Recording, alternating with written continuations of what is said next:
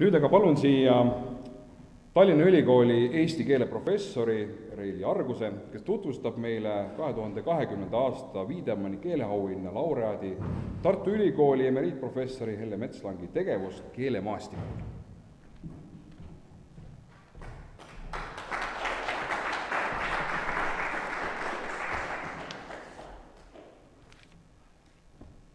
lugupeetud laureaat, kõik teised laureaadid, minister, kõik keelesõbrad ja külalised.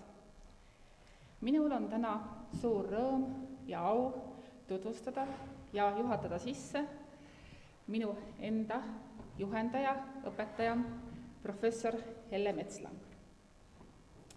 Helle Metslang on keeleteadlane, on õppejõud, emakeele seltsi esimees ja tema rollid võib jaotada väga laialt kolmeks.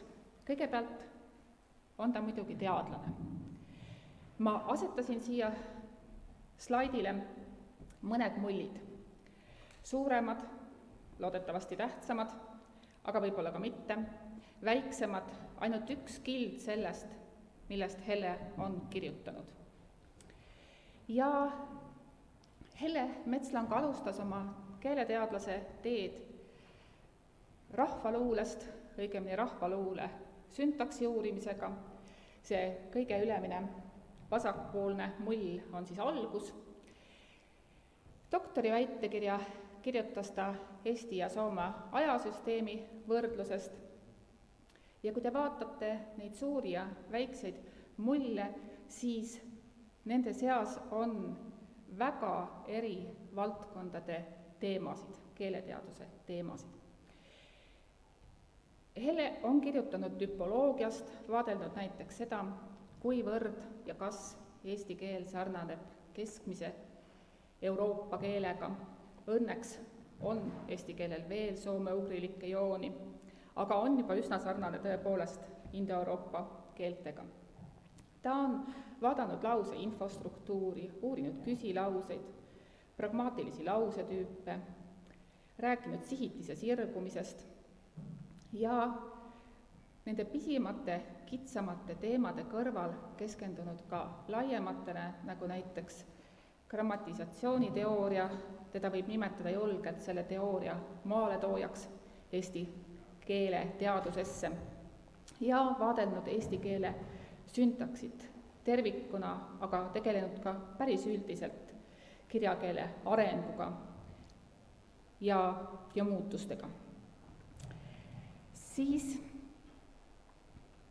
teine roll on kahtlemata õppejõu ja, ja teadusjuhi roll.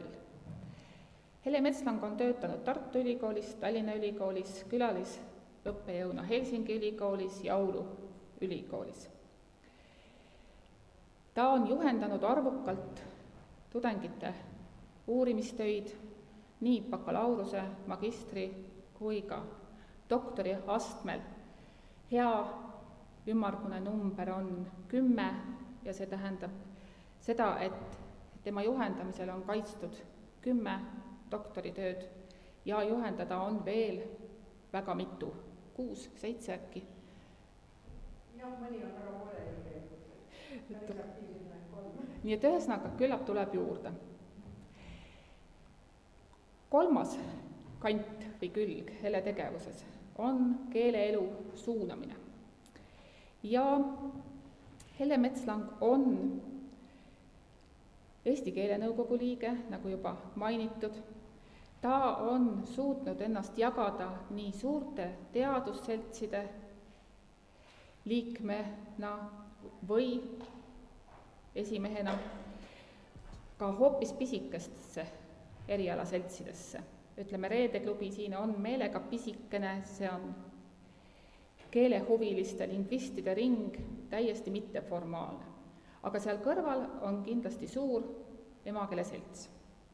ja sellest, kui palju emakeeleselts teeb Hele Metslangi juhtimisel, lubage mul rääkida mõne faktiga võtame aasta kaks tuhat üheksateist, keeleaasta muidugi, palju üritusi siin ja seal, aga emakeele selts oli kas korraldaja või kaaskorraldaja kümne konverentsi korraldamises. korraldati kolm kõnekoosolekut, noorte keelelaager, kümme maakondlikku keelepäeva ja veel viis keelepäeva koolides ja veel kaksteist väliskeelepäeva väljaspool Eestit.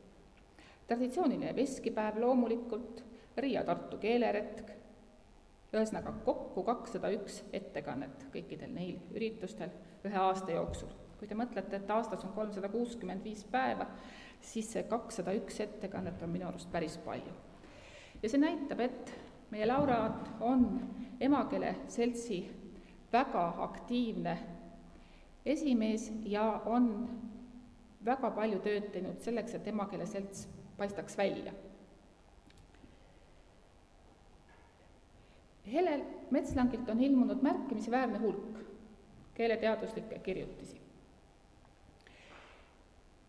selle, nende kirjutiste ring hakkab pihta populaarteaduslike artiklitega, ta on kirjutanud palju artikleid ajakirjandusse, oma keelde, aga sinna mahub hulk teadusartikleid, peatükke kogumikes, raamatutes, kuni tervikkäsitluseni välja. ja pildi peal on vähemalt üks nendest tervikkäsitlustest ka, ka näha. ja loomulikult on Hele Metslang eelkõige inimene. kuigi vahel võib tunduda, et äkki ei ole, et kuidas ta nii palju muidu jõuab. ja siin seinal on praegu ainult mõned väljendid, mida kolleegid, sõbrad, tuttavad tema kohta on öelnud, tema iseloomustamiseks. ja nendest väljenditest koorub välja eelkõige see, et, et Hele on tagasihoidlik, justkui märkamatu, justkui märkamatu, mitte märkamatu. ta kirjutab ja ütleb siis, kui küsitakse. ja siis, kui on midagi öelda ja ta jagab juhtimisülesandeid, tööülesandeid kolleegidele, alluvatele justkui muus eas. ja nii, et see, kes tööülesande saab, ei arva, et see on töö. ta tunneb, et ta on justkui kõrvust tõstetud, et ta on valitud, et just tema on see auväärne, kes seekord selle töö ära peab tegema. ta kiidab oma juhendatavaid suunab, aga suunab nii, et see ei paista sihiteadliku suunamisena, sugugi mitte.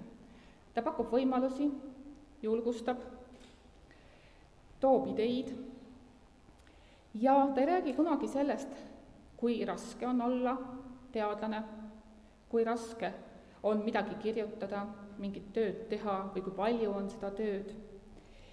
aga ometi ilmuvad trükised kirjatükid justkui muus eas, muus eas on jälle mitu kogumikku valmis saanud, tervikkäsitlus lihtsalt ühel hetkel on olemas ja valmis. ja nii on tegelikult lihtne ja samas auväärne olla Helle Metslangi õpilane, tema kolleeg, sõber ja mõttekaaslane.